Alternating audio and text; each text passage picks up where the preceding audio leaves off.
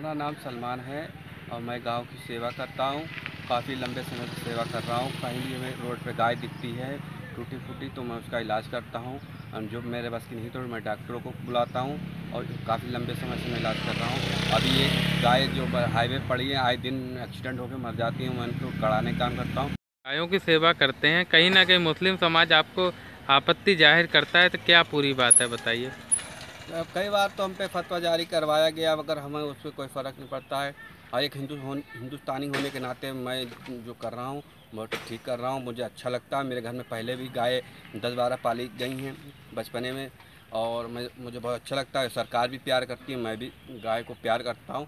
तो हमें उससे कोई फ़र्क नहीं पड़ता कोई भी हमारे लिए कुछ भी करे चाहे घिराव करे या कुछ करे और हम गाय की सेवा करते अच्छा आपकी पत्नी भी चली गई थी क्या पूरा मामला है? पत्नी चली गई थी नाराज़ होकर कि गाय की सेवा करते हो, और इस तरह के मोहल्ले में लोग तरह तरह के ताने देते थे, कहते जे मुस्लिम होके और गाँव की सेवा कर रहे हैं ये हिंदू हो गए हैं, फलाना ढिमाना इस तरीके तरीके की बातें करते थे तो वो नाराज़ होकर चली गई थी। पुलिस तक मामला पहुँच गया था मगर हमने उन्हें मना लिया, रिश्तेदारों को मना लिया। अब ऐसा कोई मामला नहीं है, मगर अब अच्छा लगता है हमें गाय की सेवा करने।